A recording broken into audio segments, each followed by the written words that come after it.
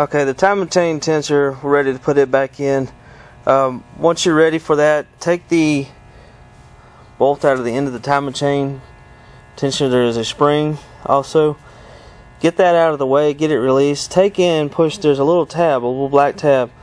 Push it and make sure the extension arm is all the way extended in. What this does, this allows you to be able to put the tensioner back in the block, or the cylinder head, excuse me, and, uh, then you can put the spring back in and the bolt, and that'll put the correct tension back on the chain.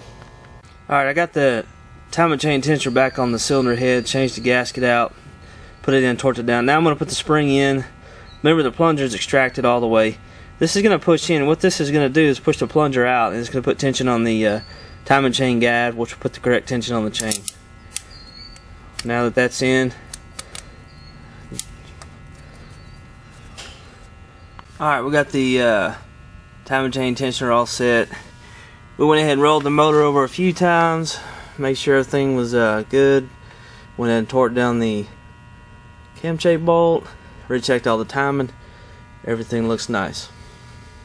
Alright, we got most of the motor all put back together. The next thing we're going to do is reinstall the exhaust, put the carburetor back on, the air box, and uh, put the plastics and everything back on it and we should be ready to fire this motor up and see how it runs and test and tune it.